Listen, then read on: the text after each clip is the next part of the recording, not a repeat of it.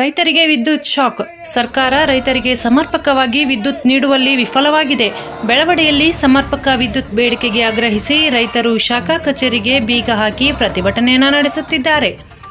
ಶಾಖಾ ಅಧಿಕಾರಿ ಡಾಂಗೆ ಅವರನ್ನ ಹೊರಹಾಕಿ ಕಚೇರಿಗೆ ಬೀಗ ಹಾಕಿ ರೈತರಿಂದ ಪ್ರತಿಭಟನೆ ನಡೆಸುತ್ತಿದ್ದಾರೆ.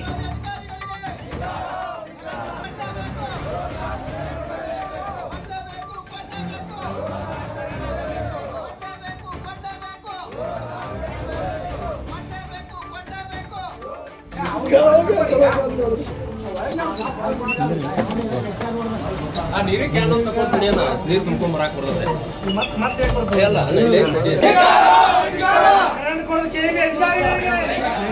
ಸರ್ ನಮ್ದೊಂದು ಏನ್ ಕೇಸ್ ನಿಮ್ಗೆ ರಾತ್ರಿ ಕರೆಂಟ್ ಕೊಡೋದು ಸರ್ ರೂಲ್ಸ್ ರೂಲ್ಸ್ ಐತ್ರಿ ರಾತ್ರಿ ಕೊಡಕ ಅಲ್ಲ ಮೇಡಮ್ ಅಂತ ಗೊತ್ತೇನ ಮೇಡಮ್ ಏ ಯಾರೋ ಬಂದು ಹೇಳೋ ರಾತ್ರಿ ಕೊಡ್ತಾವಂತ ರಾತ್ರಿ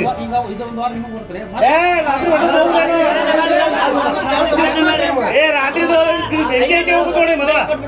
ರಾತ್ರಿ ಕರೆಂಟ್ ಬೆಂಕಿ ಹಚ್ಚಿ ಅದ್ರ ನೀನು ಒಳಗೆ ಹಾಕಿ ಅದ್ರ ಹಾಕಿ